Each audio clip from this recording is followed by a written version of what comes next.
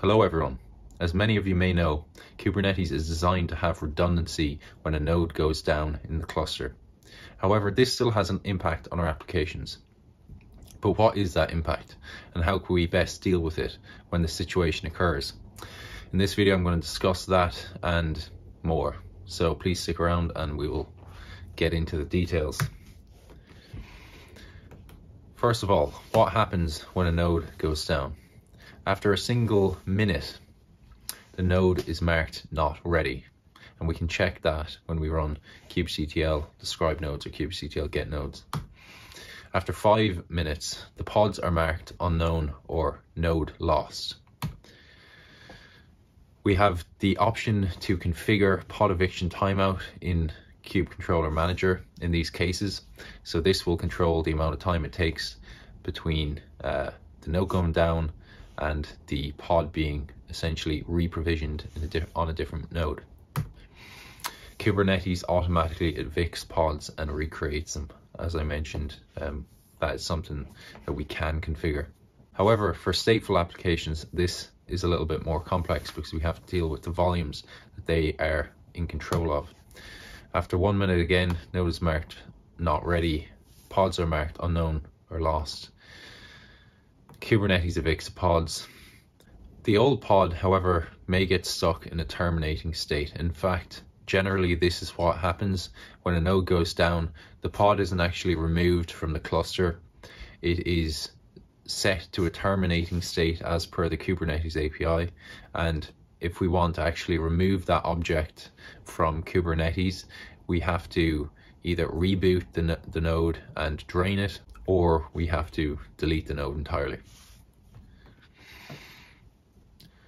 When the pod is stuck in that terminating state, the volume for that pod is still associated with the old pod. This means that the new pod will not be able to mount the volume because it's already in use. A solution for this is to use something like Portworx, which is a third-party tool that allows intelligent volume provisioning and management. From a high level, we now understand what happens when a node goes down, the sort, the steps that we will observe. But how does it actually work under the hood? Well, the first thing that we can look at is node heartbeats. These are what's used to determine the availability of the node, and they come in two forms. They are status updates, and these happen every five minutes, so when we run kubectl get nodes, we can verify the status and after five minutes it will have changed and we will see that the node is not in a healthy state. However, Kubernetes also uses the lease API, and I discussed this in a prior video, to update the state of the node every 10 seconds, or essentially kubelet will monitor the state of the node, and then it will send an update request to the lease API, and that will tell Kubernetes whether the node is healthy or not. We do have some configuration options when it comes to how the nodes will behave when they are detected to go down. So the first option that we have is to use the API server config and set the default node not ready toleration seconds. What that configuration option does is it sets a blanket policy for the entire cluster on the number of seconds that we should wait before evicting a pod when it is not ready or moving the pod to another node. And this second configuration option is the amount of time that we allow uh, the node to be in an unreachable state. So again, node not ready and node unreachable are two different uh, conditions that the node can be in. However, if we want to set the time that it takes to evict a pod based on individual applications and allow those to differ, we can actually set this configuration parameter using tolerations.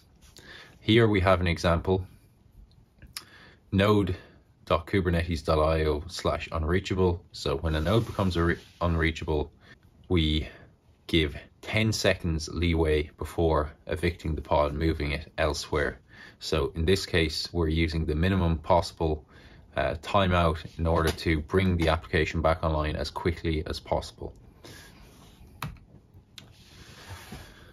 Now, when a node goes down, there is some manual intervention that may be required. However, there is tooling that has been developed that allows us to circumvent some of the manual intervention that might be needed. Some of these tools I will now go through. The first one is Node Problem Detector. Node Problem Detector is a daemon for monitoring and reporting on node health. It monitors logs in order to identify problems, and it allows us to use various configurable daemons to detect problems. And then the problems are sent to exporters, and we have exporters for the Kubernetes API, Prometheus, and Stackdriver, as the notes say. So, to recap, problem detector will sit in our cluster on each node. It will monitor logs, different log files that we can configure. Based on the content of those logs, it will export to either the Kubernetes API.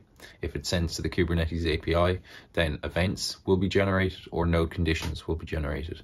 If it's sent to Prometheus or Stackdriver, alerts can then be generated. Another tool with a similar function to Node Problem Detector is Sciuro. However, Sciuro takes a slightly different approach and a different direction to a Node Problem Detector in that it receives alerts from Alert Manager. So Sciuro assumes that you're using Prometheus and Alert Manager in order to generate your uh, alerting within your cluster. Then it receives those alerts and based on the alerts, it generates node conditions.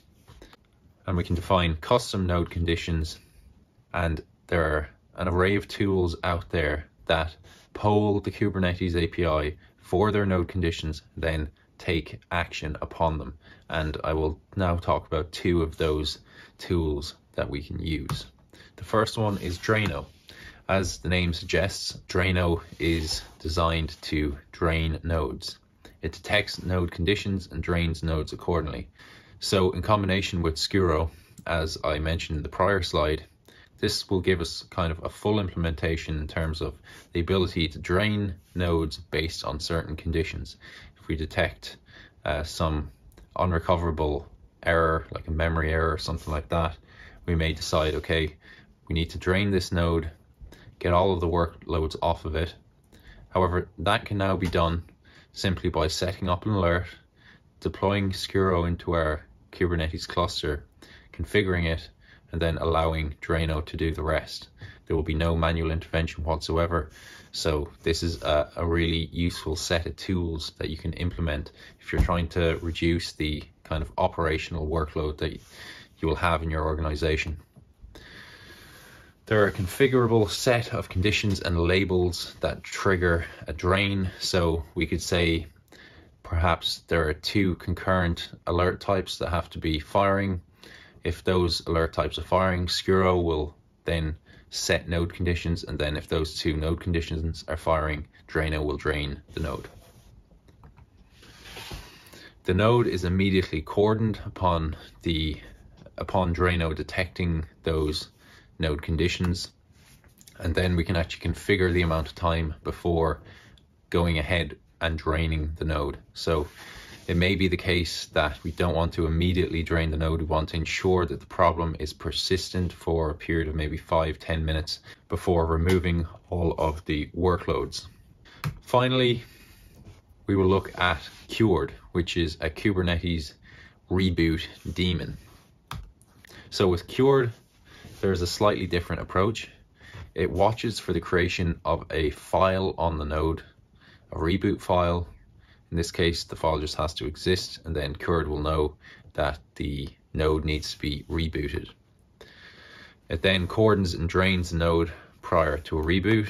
It utilizes a lock to ensure that only a single node is rebooted at a time and it uncordons the node afterwards. So it's sort of left down to you as to how you go about creating the reboot file based on what conditions, but uh, it's not a particularly difficult thing to do. So again, quite a useful tool, and particularly because it allows us to ensure that only a single node is being rebo rebooted at a time or undergoing maintenance at a time, um, because that's obviously something that we do not we don't don't want you know three of our nodes being drained in a five node cluster at any one time.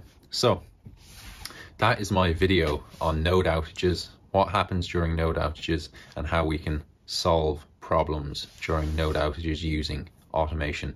I hope that was useful. If you have any questions, please leave a comment and I'll get straight back to you. Please like and subscribe and I will talk to you in the next video.